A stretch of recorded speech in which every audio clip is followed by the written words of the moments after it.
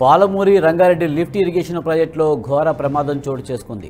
Pump హౌస్లోకి దిగుతుండగా crane wire తెగపడి ఐదుగురు దుర్మరణం పాలయ్యారు. ఘటనలో మరొకరికి గాయాలైనట్లు సమాచారం. గాయపడ్డ వ్యక్తిని చికిత్స కోసం ఆసుపత్రికి తీసుకువెళ్ళగా మృతదేహాలను ఉస్మానియాకు తరలించారు. ఇదిలా ఉండగా మృతులను బీహార్ నుంచి వచ్చిన వలస కూలీలుగా గుర్తించారు. ఈ ఘటనకు సంబంధించి మరింత సమాచారం అందాల్సి ఉంది.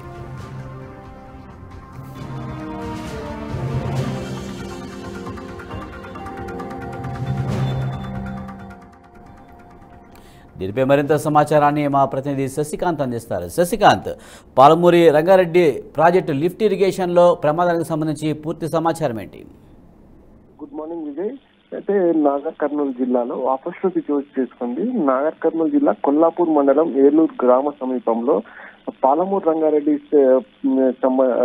ఏదైతే లిఫ్ట్ ఇరిగేషన్ ప్రాజెక్ట్ ఉందో దానికి సంబంధించిన పనులు గురు రాత్రి గురువారం రాత్రి పొద్దుపోయే వరకు జరిగిన సందర్భము. అయితే ఈ ప్రమాదంలో ఇక్కడ ఘోర ప్రమాదం చోటు చేసుకుంది దాదాపుగా రాత్రి సమయంలో కాంక్రీట్ పనులు చేస్తుండగా క్రేన్ సహాయంతో మిల్లర్ను కిందికి దించే ప్ర- క్రమంలో ఏదైతే క్రేన్ ఉంటుందో ఆ క్రేన్కి సంబంధించిన తాడు తెగి కిందికి పడిపోవడంతో మిల్లర్ కింద ప- పనిచేస్తున్న కూలీల పైన పడడంతో అక్కడ దాదాపుగా ఐదుగురు కూలీలు అక్కడికక్కడే దుర్మరణం పాలు కాగా మరొకరికి తీవ్ర అయితే మరణించిన వారిని అట్లాగే గాయపడిన వారిని రాత్రికి రాత్రి అట ఉడావుడిన ఉస్మానియా ఆసుపత్రికి తరలించిన పరిస్థితి ఉంది. అయితే ఇక్కడ ఈ రంగారెడ్డి పనులు జరుగుతున్నాయి. ఇక్కడ దాదాపు పన్నెండు వందల మంది కూలీలు పనిచేస్తారు పనిచేస్తారు. ఈ కూలీలందరూ బీహార్ జార్ఖండ్కు సంబంధించిన కూలీలని తెలుస్తుంది. అయితే రాత్రి కూడా మరణించిన ఎవరైతే మరణించిందో వాళ్ళు కూడా బీహార్ సంబంధించిన కూలీలుగా గుర్తించారు. అయితే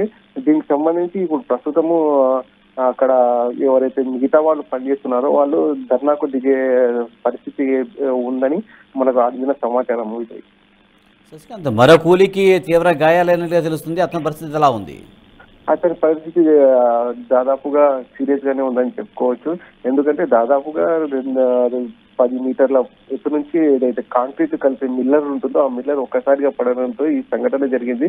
ఐదుగురు అక్కడికక్కడే చనిపోయారు. ఈ తీవ్రంగా గాయపడిన వ్యక్తి కూడా సీరియస్ గానే ఉంది ఇప్పుడు మనకు అందిన సమాచారం ప్రకారం అయితే ఈ ఆ, వ్యక్తి కూడా దాదాపుగా సీరియస్ అంటే బతికే అవకాశాలు లేవని చెప్తున్నారు ఒకటి. Right thank you Sasikanth